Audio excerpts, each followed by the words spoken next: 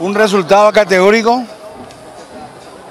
Ahora ya Cerro tiene que solicitar jugar en la luna, porque el estadio que siempre elegimos no nos da. Dedicado al soberbio. ¿Quién es el soberbio, Luis? El presidente de la divisional, yo estoy muy contento, le rompimos categóricamente y nadie puede decir nada. Importante para nosotros, sabíamos que, que era, era, nos iba a dar mucho, mucho impulso en caso de conseguir la victoria.